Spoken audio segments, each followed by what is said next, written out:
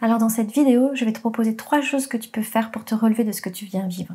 Parce que tu sais, je sais ce que tu ressens.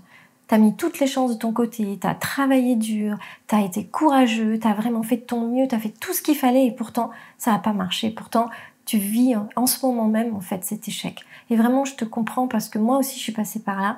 Tu vois, euh, pendant longtemps, je me disais, mais ma vie, elle peut être que formidable, quoi. Et surtout quand j'avais une vingtaine d'années, je me disais, mais ma vie, elle peut être que formidable.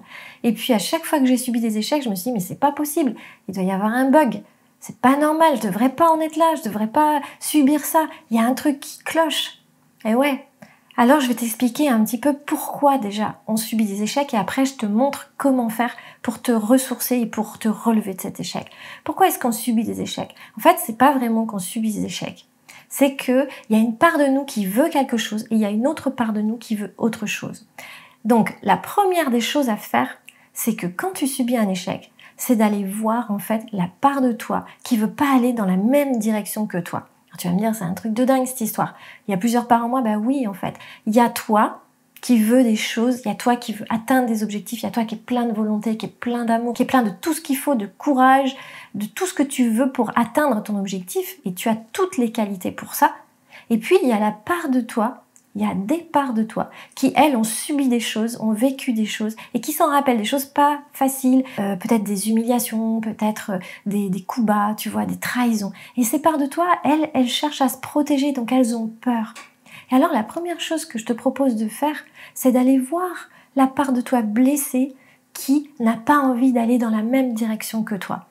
Comment tu vas faire ça ben Simplement, en fait, tu vas te poser dans un endroit calme et tu vas aller, tu vas fermer les yeux et tu vas aller voir l'autre toi-même. Alors peut-être que cet autre toi-même, il sera tout petit, ou peut-être il aura 8-9 ans, peut-être il aura 15 ans, ou peut-être euh, eh ben, il sera à un âge qui est le tien aujourd'hui. Et ce que tu vas faire, c'est que tu vas le regarder, tu vas lui parler.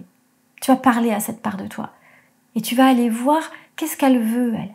Et en fait, tu vas peut-être t'apercevoir que, ben, simplement, elle a peur ou elle est triste ou elle manque d'énergie parce qu'il s'est passé quelque chose pour elle.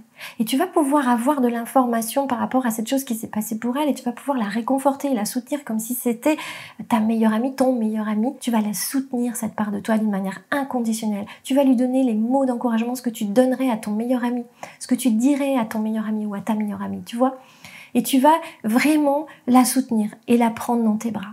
Et tu vas voir au fur et à mesure où tu soutiens cette part de toi, eh bien, elle va devenir de plus en plus lumineuse. Alors peut-être que la soutenir, ça va être aussi la laisser exprimer ce qu'elle a besoin. Peut-être qu'elle est en colère, qu'elle a besoin de tout casser. Ok, laisse-la faire en fait. Accepte qu'elle ait besoin d'exprimer cette colère ou la peur qu'elle ressent. Et après, tu es avec elle, tu vois, et tu, et tu la prends dans tes bras et tu lui dis que tu es là.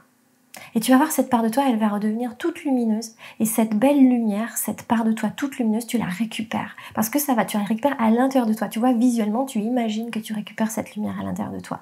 Et ça, ça va te permettre en fait de récupérer de l'énergie. Ça, c'est la première chose à faire, ça s'appelle le soin. D'accord?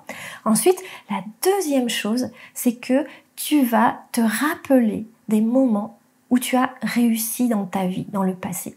Alors, c'est sûr que tu vas en trouver. Ça peut être même un tout petit truc, ça peut être simplement euh, le fait, je ne sais pas, d'avoir fait un gâteau, euh, d'avoir réussi un gâteau. Tu vois, ça peut être un tout petit truc, ça peut être, euh, je sais pas, une marche en montagne que tu as fait jusqu'à jusqu'au sommet, ça peut être, tu vois, même si c'est pas grand chose, c'est, je te propose de simplement connecter à, cette, euh, à ce souvenir et tu vas choisir plusieurs souvenirs dans ton passé où tu te sentais vraiment avoir réussi, où tu peux être vraiment fier de toi, où tu peux vraiment avoir de la gratitude aussi pour toi. Tu vois? Parce que tu as réussi. Et tu vas te connecter, tu vas t'immerger dans ces souvenirs comme si tu y étais. Donc tu rentres dans l'expérience, tu vois? Quand on est dans la réalité, eh bien, on voit nos mains, on, voit notre corps physique, mais on voit pas notre visage. Donc en fait, tu vas pas regarder cet autre toi-même euh, vivre cette expérience comme tu l'as fait quand tu as soigné ta part blessée, parce que là, quand tu soignes ta part blessée, tu es bien dissocié de toi, c'est-à-dire que tu regardes ta part blessée qui, euh, qui est, qui est là, et tu t'en occupes. Mais là, en fait, c'est toi qui t'immerges dans l'expérience. Et du coup, tu vas voir, ça va, ça va te remettre en fait dans un sentiment de fierté pour toi. Ça va te remettre en fait dans un, dans un sentiment d'amour pour toi. Et ça, ça va t'aider et ça va te ressourcer. Ça, c'est la deuxième chose à faire et c'est la ressource. Et tu fais ça aussi longtemps qu'il faut pour que tu te sentes vraiment bien. Et une fois que tu as fait ça, Maintenant, on passe à l'étape construction. Là, tu vas écrire ta vie de rêve. Si tu l'as pas déjà fait, je te propose de le faire dès maintenant. C'est-à-dire que tu écris au temps présent ce que tu veux vraiment vivre dans ta vie. Et tu l'écris comme si c'était déjà fait. Et tu te mets une petite musique douce et tu visualises. Alors, il y a une, une méditation guidée là sur ma chaîne que tu peux aller voir qui s'appelle expansion de, expansion de conscience pour la loi d'attraction que tu peux écouter, tu te laisses guider et ensuite quand c'est le moment, tu t'imagines en fait dans ta vie de rêve et ça tu fais ça tous les jours. imaginer la vie de rêve, tu peux le faire tous les jours pour avoir vraiment la pêche. Mais si vraiment tu n'as pas le temps de le faire tous les jours, bah, au moins quand, tu viens de vivre ce que tu viens de vivre, et eh ben, le fait de faire ça, tu vas voir, ça va te redonner du baume au cœur.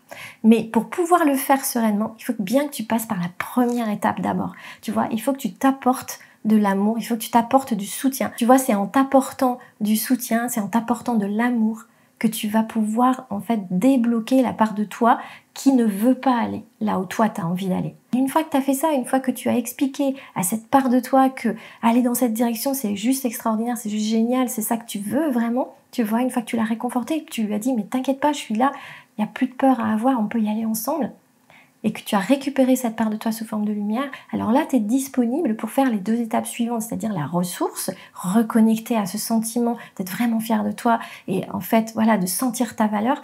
Et la troisième chose, c'est la construction, la visualisation de ta vie de rêve et la création de ta vie de rêve. Parce qu'en fait, tout ce que tu vois à l'extérieur de toi, ça a d'abord été pensé à l'intérieur par quelqu'un. Donc en fait, tout vient de l'intérieur. Et si tu veux réaliser des choses dans ta vie, c'est bien de les imaginer d'abord ou de t'imaginer en train de les réussir d'abord. Voilà, j'espère t'avoir aidé à sortir de l'échec. Je te propose vraiment de faire ça, tu vas voir. Ça va vraiment avoir des effets très bénéfiques sur toi. Et puis pense à t'abonner et à laisser un petit like et un petit commentaire si tu as aimé la vidéo. À bientôt.